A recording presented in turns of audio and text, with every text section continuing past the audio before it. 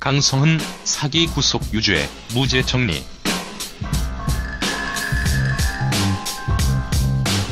잭스키스 강성훈 사기 사건이 유죄일까요? 무죄일까요? 근래 강성훈이 다시 TV에 출연하고 또한 뉴스에서 강성훈 무혐의 보도를 많이 합니다. 그래서 사람들이 강성훈이 무죄라고 받아들이고 있죠.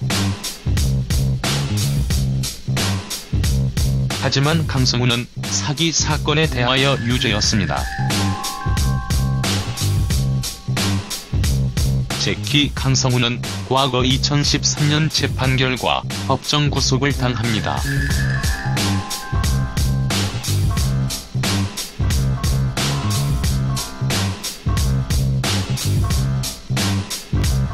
당시 재판부는 강성훈의 사기 혐의를 인정해서 징역 2년 6개월의 판결을 내렸고 또 법정 구속을 시켰죠.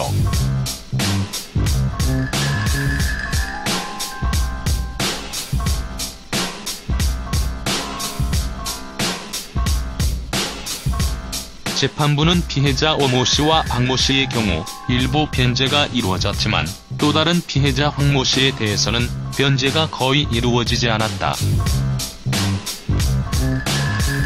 따라서 대법원 양형 기준에 따라 2년 6개월을 선고한다.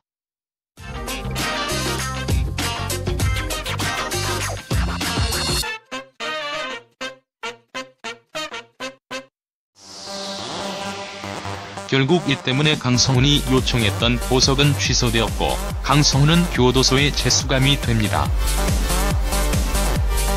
이 사건 결과는 어떻게 되었을까요?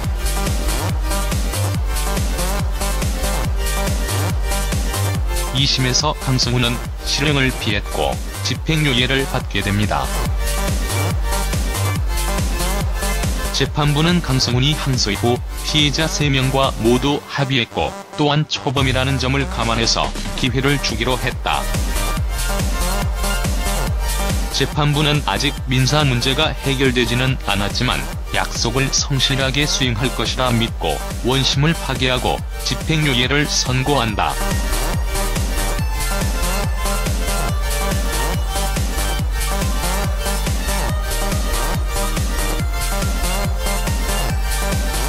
즉 1심 이후에 강성훈은 열심히 피해자들과 합의를 했고 2심 때는 이것이 참작이 되어서 집행유예를 선고한 것이죠.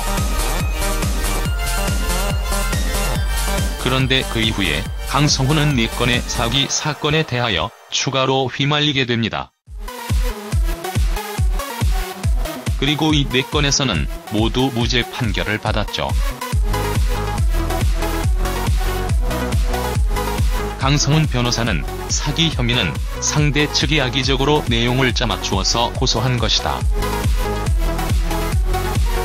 기존에 강성훈이 고소한 민사 재판이 본인에게 불리하게 돌아가기 위하여 일부러 사건의 쟁점을 흐리기 위하여 일부러 고소한 것이다. 강성훈 변호사는 무혐의는 당연한 처분이었다.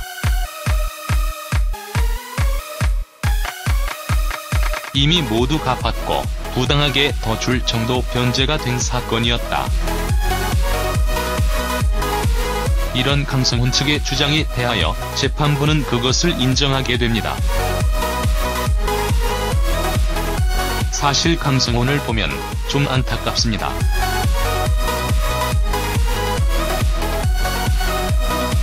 명 처음의 사기 사건으로 유죄 판결을 받은 것은 사실이지만 연예인이고 이미 일본의 사기 사건으로 이미지가 추락한 다음이었기 때문에 상대 측에서 이를 악용하기 위하여 여러 건의 사기 혐의로 고소를 한 것이니까요. 이래서 연예인들은 사업을 하기도 힘들고